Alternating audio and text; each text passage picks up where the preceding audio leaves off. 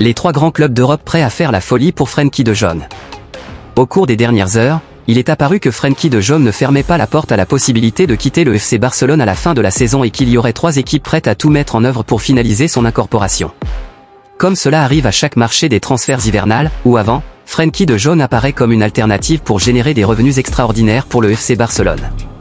Le néerlandais reste l'un des joueurs les plus recherchés de l'équipe et chaque année, il est impliqué dans des rumeurs sur un éventuel départ.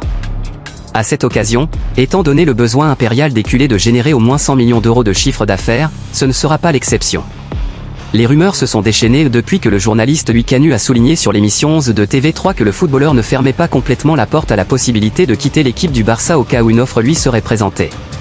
Son contrat expire en 2026 et, malgré le fait que l'année dernière des rumeurs circulaient selon lesquelles Deco allait tenter de prolonger sa relation, le joueur lui-même a repoussé parce qu'il voulait vivre au jour le jour et ne pas penser à l'avenir.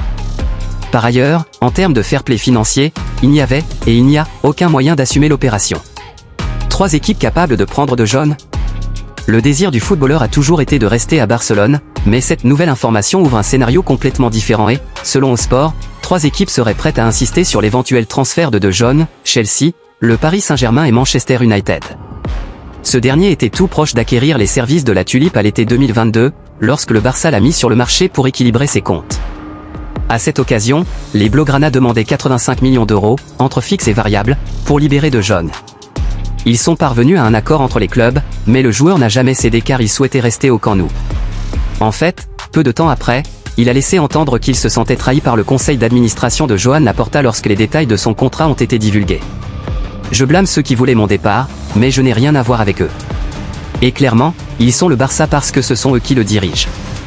De toute façon, je ne les vois pas quand je suis au club dans mon routine quotidienne, a-t-il déclaré à cette occasion. Un dossier qui ne sera plus attaqué, maintenant. En tout cas, la situation est désormais différente. La source susmentionnée a indiqué qu'à l'heure actuelle, seules ces trois équipes seraient en mesure d'acquérir les services du milieu de terrain, mais aucun mouvement n'a été réalisé et il n'y aura pratiquement aucun changement dans les mois à venir.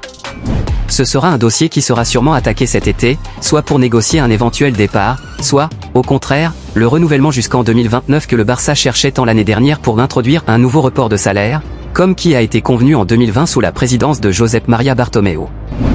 La star de Chelsea, Enzo Fernandez, s'offre à Barcelone. Une histoire surprise centrée sur le géant de la Liga, Barcelone, et le milieu de terrain de Chelsea, Enzo Fernandez, a fait la une des médias espagnols tard ce soir. L'information vient de Diario Sport, qui pointe du doigt ce dernier comme ayant jeté son dévolu sur un déménagement en Catalogne. Rapidement désillusionné par la vie dans l'ouest de Londres, au milieu des difficultés persistantes de Chelsea, Enzo, affirme-t-on, est séduit par le fait de jouer pour le Barça. Non seulement cela, mais l'Argentin est allé jusqu'à donner le feu vert à son entourage pour prendre contact avec les Blaugrana au sujet d'un éventuel accord d'été. La seule pierre d'achoppement majeure dans une telle opération résiderait cependant dans la forme des frais impliqués. Chelsea a déboursé plus de 120 millions d'euros pour Enzo il y a à peine 12 mois, son mandat actuel dans la capitale anglaise s'étalant jusqu'en 2032. Au milieu des difficultés financières largement médiatisées du club, il est juste de supposer que Barcelone, en conséquence, n'a pas pu se rapprocher du prix demandé par ses homologues de Stanford Bridge.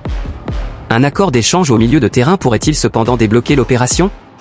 La nouvelle a été annoncée vendredi après-midi que Chelsea souhaitait un accord d'été pour Frenkie de Jong, prêt à débourser une somme de l'ordre de 100 millions d'euros pour ses services. Si le néerlandais est proposé en échange partiel contre Enzo, toutes les parties pourraient-elles, à leur tour, être satisfaites? Sport a annoncé qu'Enzo Fernandez s'était proposé au FC Barcelone pour la saison prochaine, même si diverses sources suggèrent qu'il n'a pas l'intention de quitter Chelsea à court terme. Selon les informations du journal Sport, Enzo Fernandez pourrait être une alternative au FC Barcelone pour la saison 2024-2025, même s'il est l'une des recrues les plus chères de l'histoire de la Premier League et qu'il possède un contrat avec Chelsea jusqu'en 2032. Le joueur chercherait un moyen de quitter Stanford Bridge face à la crise qui entoure constamment l'équipe bleue. Bien qu'il soit sur le point de disputer la finale de la Coupe Carabao contre Liverpool, la saison de Chelsea ne répond pas aux attentes après l'investissement d'un million de dollars réalisé au cours de l'été et ces dernières années. Où ils occupent la 11e position du premier, avec 31 points, 15 des 4 places avec lesquelles ils accèdent à la Ligue des Champions. Les Londoniens vivent sur des montagnes russes et les sentiments ne sont pas entièrement positifs avec le travail de Mauricio Pochettino. Fernandez, malgré l'irrégularité des Bleus, est l'un des joueurs les plus importants de l'effectif, un membre incontesté du 11 et l'un des joueurs les plus brillants de toute l'équipe. Sport a souligné que la crise l'a amené à chercher un moyen de quitter Londres pour la saison prochaine, malgré le renouvellement d'un an qu'il a signé en avril de l'année dernière. De même, la possibilité de s'arrêter à Barcelone attirait son attention. Rumeur ou possibilité pour le Barça? C'est en tout cas un transfert impossible pour le Barça sur le plan économique. Il ne faut pas oublier qu'après son explosion lors de la Coupe du Monde 2022 au Qatar avec l'Argentine, Chelsea s'est mis en quatre pour acquérir les services du joueur et a fini par payer sa clause de rupture, auprès de Benfica, de 120 millions d'euros. C'est précisément le joueur qui a insisté pour que les Portugais acceptent l'offre des Bleus. Malgré les informations de le sport, il ne faut pas oublier qu'en Argentine, on a souligné que le joueur de 23 ans n'aurait pas demandé à quitter Stanford Bridge. Le journaliste Gaston Edul, de Nitis Sport, a souligné jeudi que Enzo Fernandez reste à Chelsea.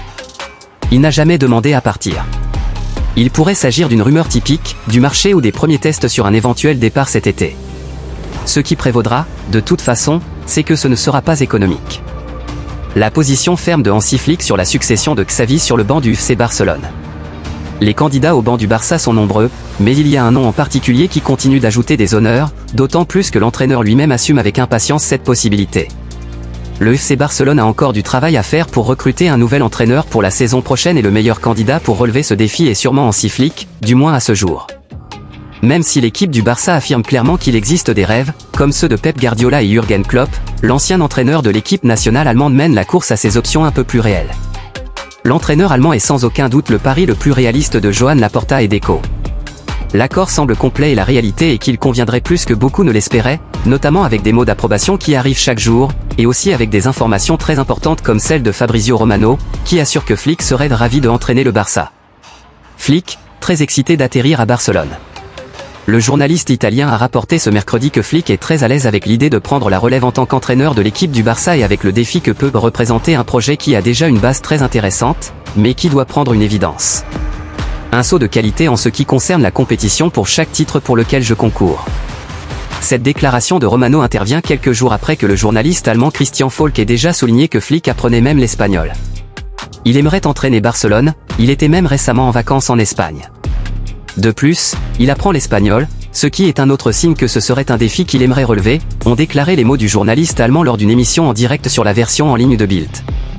Ainsi, tout semble être entre les mains de la Porta et de la proposition économique qu'il pourra transmettre à Flick dans les semaines à venir. Le Barça, avec une mission très claire entre février et mars. Et l'arrivée du nouvel entraîneur, du moins une fois l'accord conclu, doit arriver prochainement pour qu'il puisse rejoindre la planification sportive des Catalans.